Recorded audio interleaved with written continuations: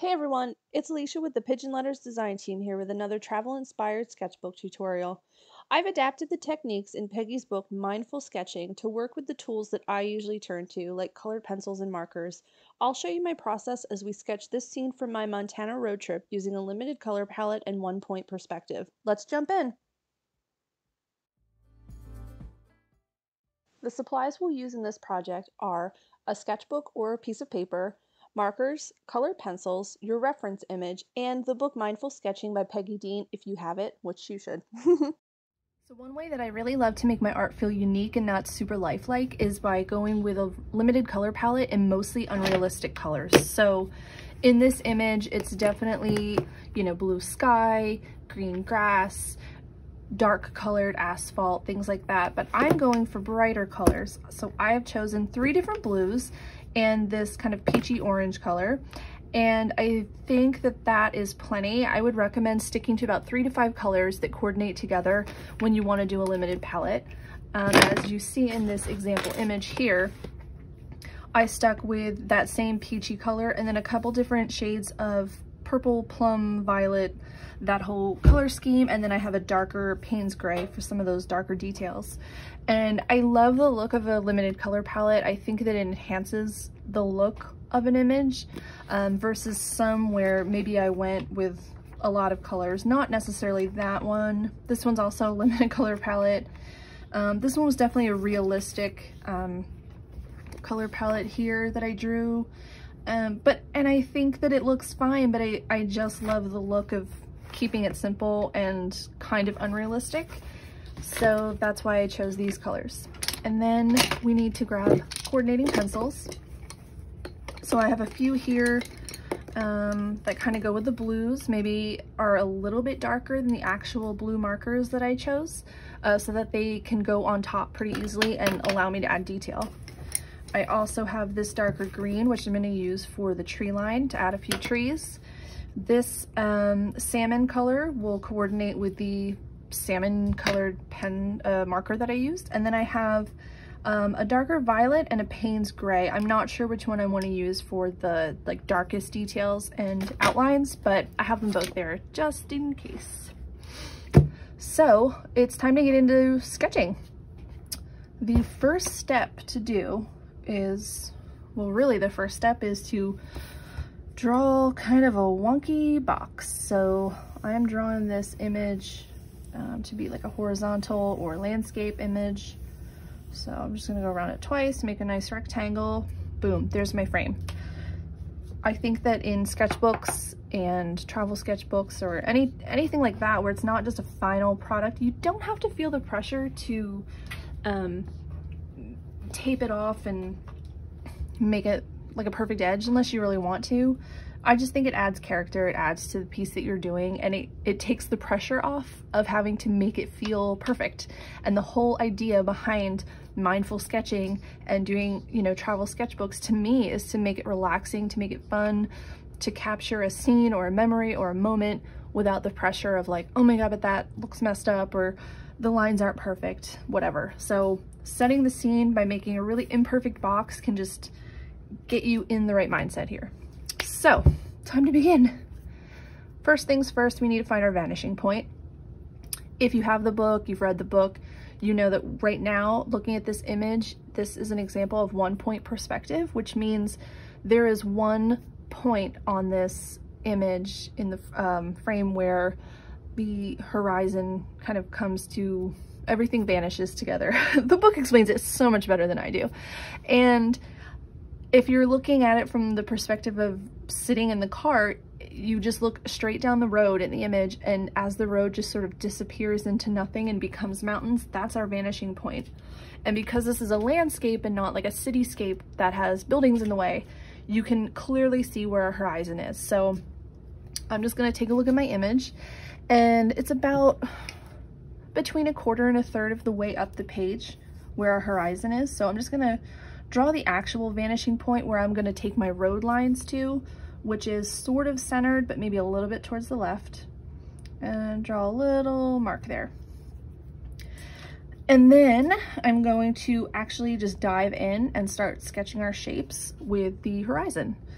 And again, just start with a color pencil, pick one of your lighter shades. You don't want to go super dark with this layer because we're going to go back over it in the end uh, with a darker pencil to get those nice outlines. Um, but that's the difference between using the fine liner versus doing it in this colored way. We're kind of working backwards.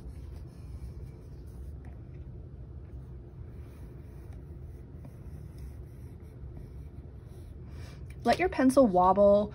Hold, sometimes I like to hold it a little bit differently than I normally would, grip it weird, because I want those wobbly, wonky, sketchy lines. I think that it makes things look more fun, adds more character, makes them feel a little bit less precise and perfect. So if you just change your grip up a little bit, you might automatically get a more wobbly line and that kind of works.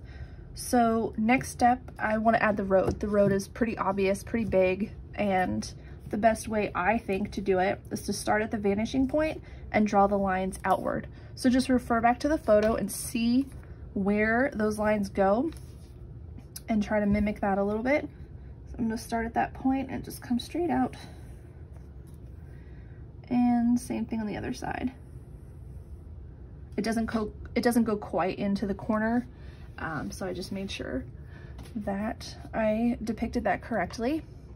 And then we have two more main shapes to sketch out for this one. Uh, the first one's gonna be our tree line, and then the second one will be the mountain range line. So if you take a look at the image, the tree line is just above the horizon. It's definitely darker. The mountains are behind it and they're a lot lighter. And it's sort of jagged. It varies in height um, based on the size of the trees. So as you do it, there's no rhyme or reason. Just literally make jagged, sort of make a jagged line, basically. Because um, we're going to fill this in with marker, but then we'll also go back in and make some detailed, make some general tree shapes, I should say, not super detailed because it is really far in the distance. Last but not least, we're going to add our mountains. So it's not so much a jagged line as much as it's sort of like a varying line. Um, so you want to be a little bit smoother, but still varying in size or height and shape. And, you know, sometimes it's lower, sometimes it's higher. Doesn't have to be exact to the photo. Um, I probably could have done that better, but it's fine. It is what it is.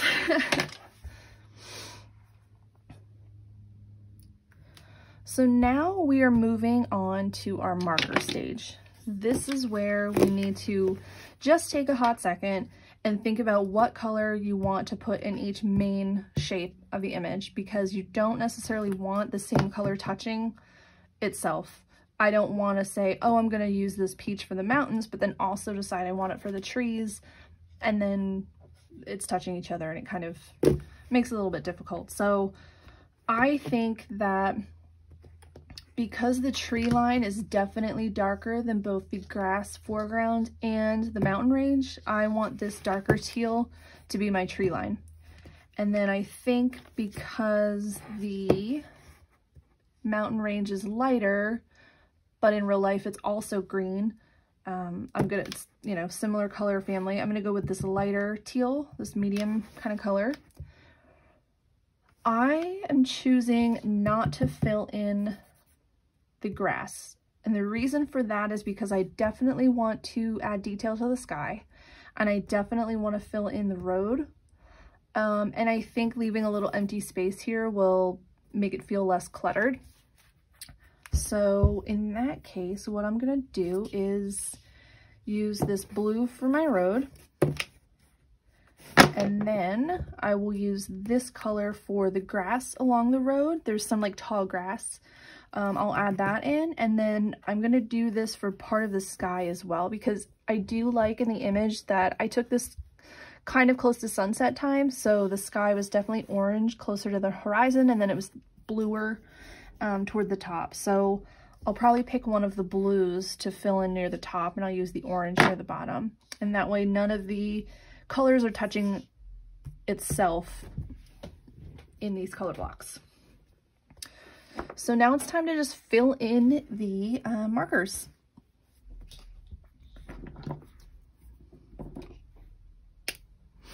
I'm going to start with the road here. There's no rhyme or reason. You can scribble, you can do lines, whatever you like. Um, like do straight lines. I try to not to, uh, I try not to make them too exact, you know, so if they kind of come out of the lines or they don't completely fill the lines, it doesn't matter because I'm going to go back over it um, with another darker pencil, those outlines, but also it's a travel sketchbook piece. It's meant to be fun. I like to do these, uh, well, ideally I like to do them when I'm actually traveling, but a lot of the time it's not until I get home. Um, but the thing is, if I'm sketching while I'm traveling, I don't have a ton of time to sit around. I think I mentioned this in my last tutorial. I don't have so much time to just sit and and draw. Um, sometimes I might have 15, 20 minutes before dinner or something. So I'm not taking a lot of time. It's just really casual and laid back, uh, this process. So let's go, let's do the mountains first. You can fill everything in completely solidly, solidly, okay. Um, or you can kind of like I like these kind of brushier pens because you can go thick and thin with your lines. Um, if you were to choose not to fill it in totally, you could just like kind of do a more brushy effect, I guess I would say. I don't think I'm demonstrating that very well, but um, it doesn't matter because I'm filling mine in anyway. I just wanted to show you you had options. So I'm just going to fill this in.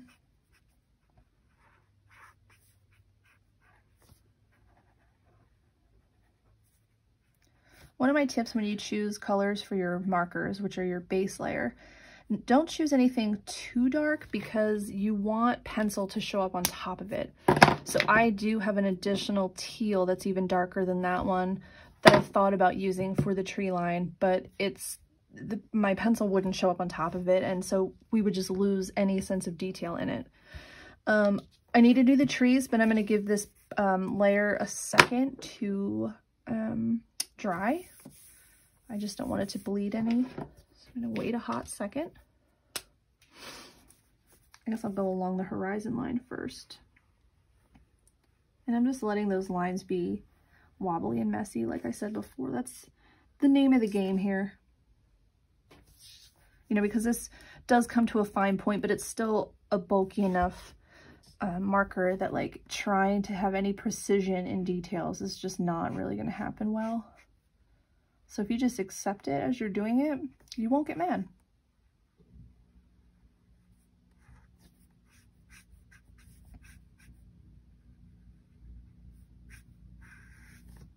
I'm trying not to go over the marker more than once because I don't want the paper to, you know, get that thing where it's kind of oversaturated and then the paper starts to, not pill, but I can't think of the word, but the paper starts to get all weird I don't want to do that. So these are pretty juicy markers. These are um, watercolor markers, I guess they're actually called.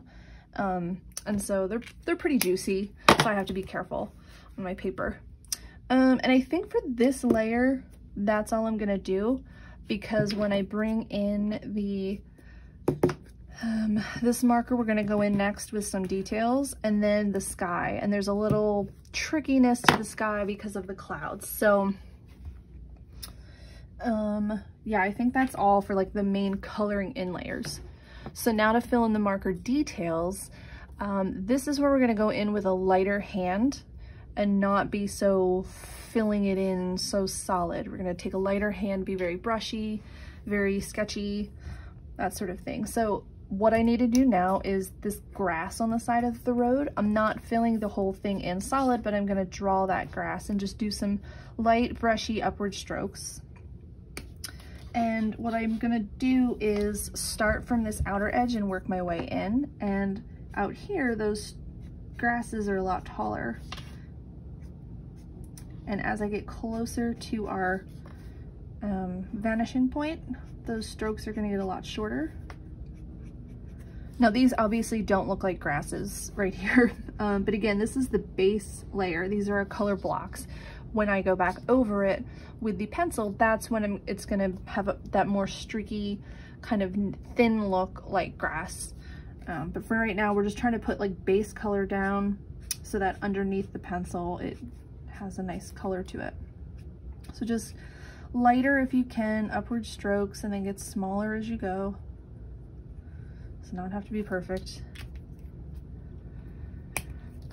And now the sky.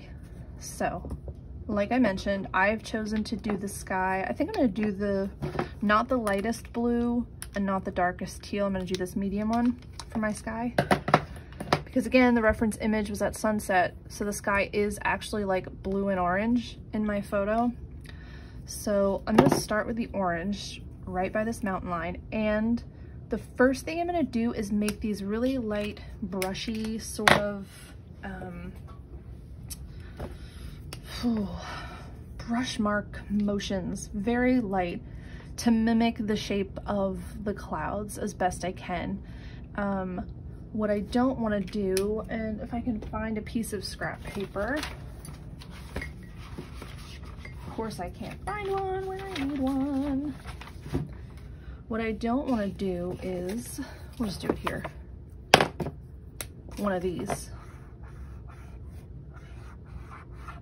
I don't want to make cartoon clouds in this case. You can if that's totally your style. Uh, that's not what I'm aiming for. So I'm going to avoid the solid like C curve um, and instead I'm going to do very brushy motions.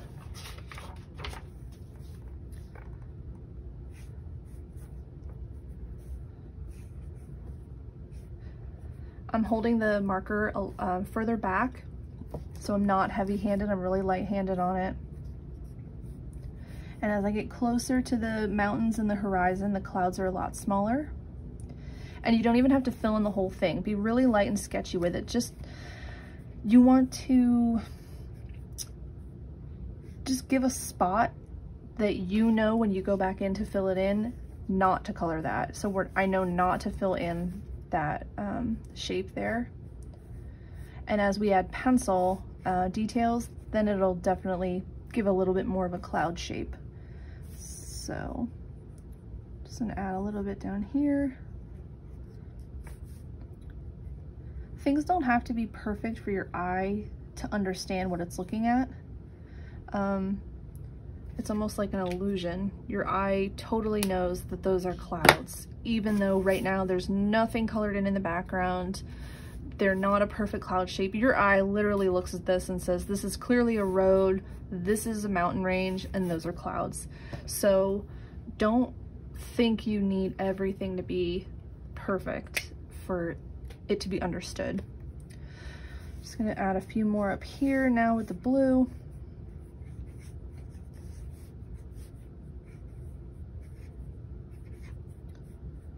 Again, there's no rhyme or reason to what I'm doing. I'm not actually like really trying to make the clouds look exactly as they do in the photo. I just wanted to fill in the sky. So now that I did that, I'm gonna come back in and this is when I'm gonna do less of a solid fill in and more of like a sketchy, like really light, just kind of come in and fill in spaces between those clouds that I made. You could technically like sketch your clouds and then fill just the clouds in and leave the sky to be white, but I kind of like the negative space to be in the cloud itself because we've chosen unrealistically looking colors and so I think by keeping some things relatively realistic, it helps it from looking completely insane. Not that there's a problem with that.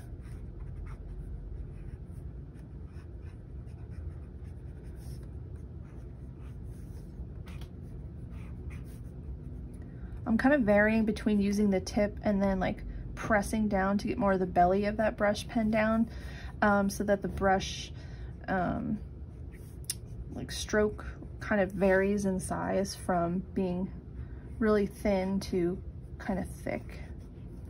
So I'm not going to fill this in too much because I'm going to come in and bring the blue in now. So I'm just going to start up here. Again, holding the brush pen further back on it, on itself so that it's not, I'm not right up on it like coloring it in. I'm just keeping a pretty light hand varying my pressure.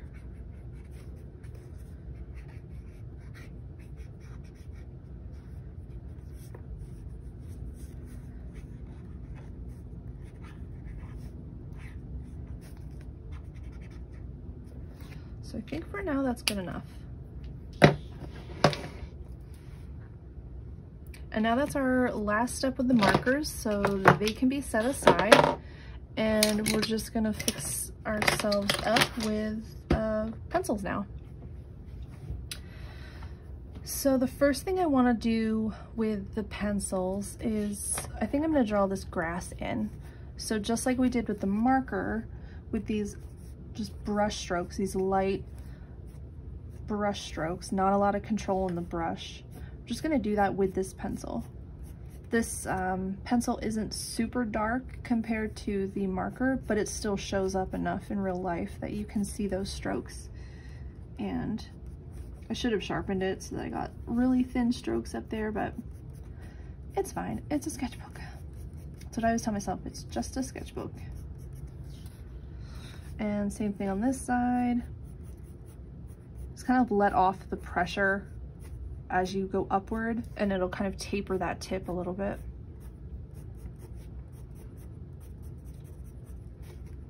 And remember to get smaller as you get towards the horizon, toward that vanishing point because it vanishes, hence the name. Um, okay, so we've done that. Now we need to add some trees. So this darker line, remember, was our tree line. It is not a mountain range, even though it looks like that. So what I'm gonna do is go in with this darker pencil and just make scribbles because they're so far in the distance, we don't need them to look perfectly like actual trees. Um, and then what I'm gonna do is leave a gap. I'm gonna leave two gaps. Do you see those two trees on the left side of the road? I'm gonna fill those in after because I'm still undecided on what color I want them to be. So I'm just gonna leave two gaps in the um, tree line. So one's gonna be a little bit larger. So I'm gonna say like from here to here, and then the other one will be a smaller. Just marking that for myself because I think I'm doing those trees in a different color, but I haven't decided yet. So let's go in and make scribbles. You can try to mimic tree shapes if they look more like an evergreen. Uh, you can do pointy, pointy tree shapes like a triangle. Um, if you think they're deciduous trees, is that right? Um, you can do kind of round scribbly spirals. Um, but the point is it's just mimicking trees somehow.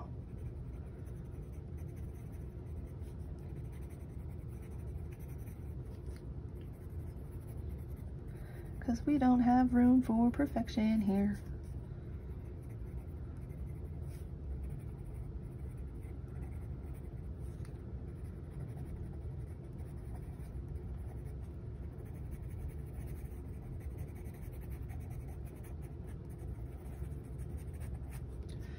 All right, so I think that is all I want to do with that green I think I do. Okay, so the next thing that I need to do is I want to put out, I think I'm going to go with the purple instead of my Payne's gray. I'm going to go with this violet purple.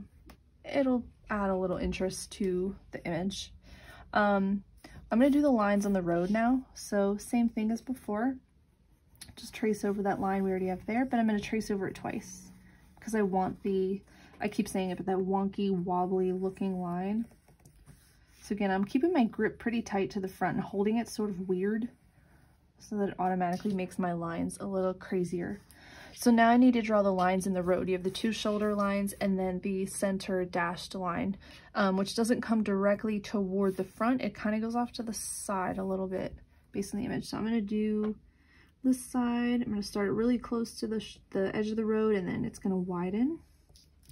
And same thing over here. And then our dashed line is going to start with tiny dashes so tiny that you can't even tell that they're dashes in the back. And then slowly start to extend the lines as you get closer to the front, the foreground. Little details like that really add to the perspective. Um, that's why I love doing things that involve this single point perspective because as you'll see when we add the fence and the um, electric poles, anything where you can distinguish the foreground being larger and the, and the background being smaller, you really get that sense of perspective. And it's kind of neat. Um, I think that it just adds something to a scene when you can at least get that accurate, even if everything else is pretty casually done. Um, so I'm going to go through with this purple and this is actually what I'm going to use for those trees. So let's do those first. So I have two trees here.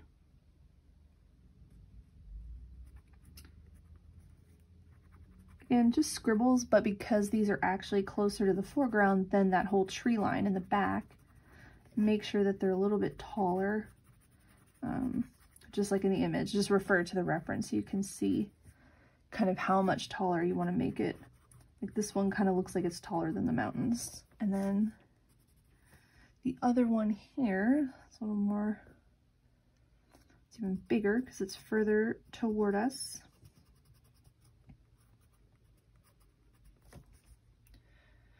Probably to make this one about here because again, just like with everything else, we want to follow that line up. Boop, boop, boop, boop, boop. So we want it to be, oh, I drew on it. Whoops. We want it to be about that high. This doesn't have to be exact either. Like, as long as it's a, everything's a little bit bigger in the foreground, again, your eye understands what it's looking at. And these are just scribbles. You're just like kind of mark making here. Because again, you know this is a tree. You don't have to draw every little petal and leaf and stuff for it to know that it's a tree, but we also don't want to make like a cartoon tree where you're like boop, boop, boop, boop, boop. Also, you don't have time to do that if you're trying to sketch out on your travels or something. You know, the idea here is keep it keep it simple, keep it kind of quick. All right, our trees look pretty. Now I'm going to take this and I'm going to actually just like go over the horizon line again. Just using this to kind of outline stuff. I'm not going to outline the tree line, but I am going to just outline the um, mountain range, the top.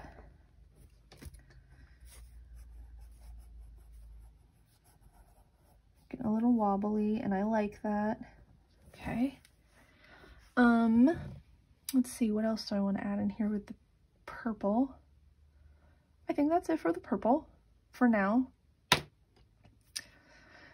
Um, I want to jump into the sky really quickly. So what I'm going to do is go back with this salmon color and just like I did with the marker when I made these cloud shapes, I'm going to take this and really lightly like make these little C curves in various sizes, but really lightly handed, really brushy, not cartoon cloud-like. So it's just going to be something like this. They might not all connect. I'm not going to fill the whole cloud in.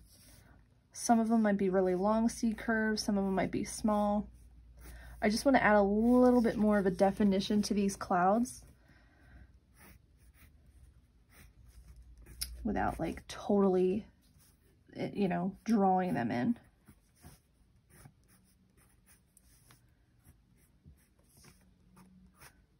So just add a few of these in where you have those white spaces.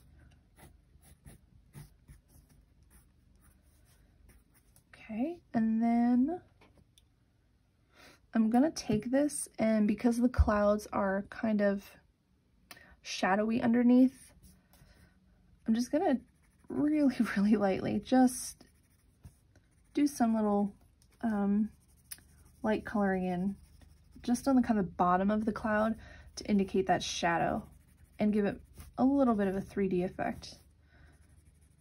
Not a lot and not dark. It might not even be showing up on camera. That's how light I'm going. All right, so now I'm gonna do the same thing, but with the blue pencil. Do I wanna use that color? I'm gonna use this one. So I'm gonna do the same thing, just kind of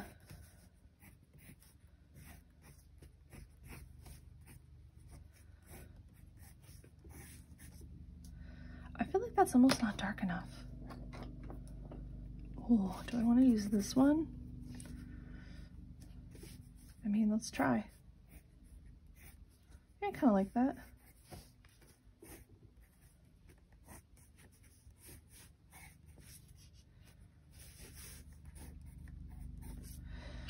But I'm not going to shade it in with that dark green. I'm actually going to go in with this lightest um, blue color that I pulled.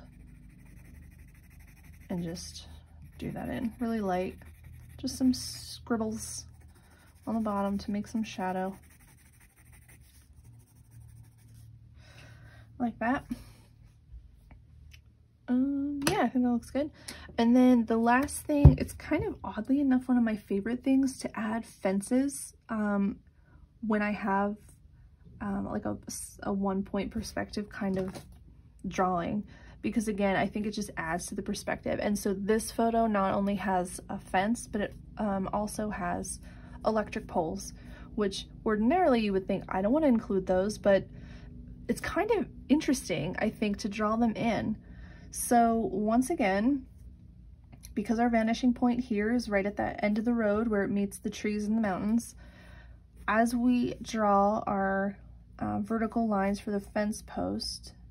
They're to stay pretty vertical, but they're to be really tiny back there. And remember, as we pull away from this, just like everything else, it's to kind of follow a line. So my fence post is to be a little bit further out from this, but it's still to follow a line, the bottom of them and the top of them. So I will show you what I mean after I draw them in. So I'm not actually drawing the line, but maybe I can even hold my fingers here just to show myself where they should start at the bottom. And space them further out as you get more toward the camera. Uh, like that. Maybe one more there. Okay, and then the tops should, I think I drew these ones a little bit tall. So these guys could be a little taller just to kind of keep with that perspective. Again, it doesn't have to be exact. You don't have to pull a ruler out and do it, but in general, if everything sort of gets larger um, as you get closer to the camera and it kind of keeps on that scale, you're good to go. Um, and so really lightly, I'm just going to connect these with like the wire or whatever the fence actually used okay? And then last but not least, and I did this in um, Payne's Gray. I probably could have used the purple for the fence, actually. Um, in fact, I'm gonna take the purple, and there's a little barn back there. So I'm just gonna sketch that little barn in real quick.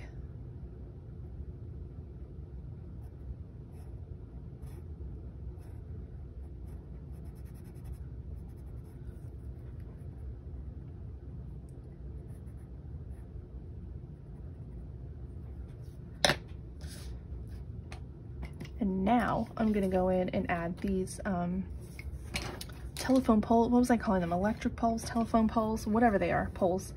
Um, so same thing, just kind of get myself a guide here where to start. And how tall do I want it to go? This definitely comes up taller than the mountains. So I'm gonna go there. So the rest of them should follow that. Okay. My bottom should be, oh, so it can be a little bit longer here. Again, this invisible line, if it was coming down, it would start here. An invisible line.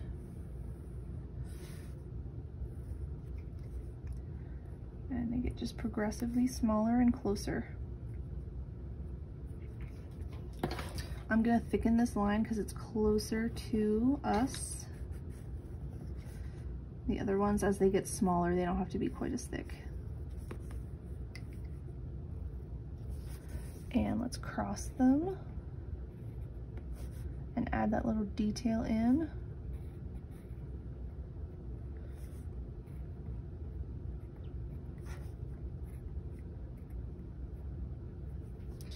And now for sure last but not least we're just going to connect those wires by just like a light C curve to connect all of the points of that cross on the left side and then all of the ones on the right so just like this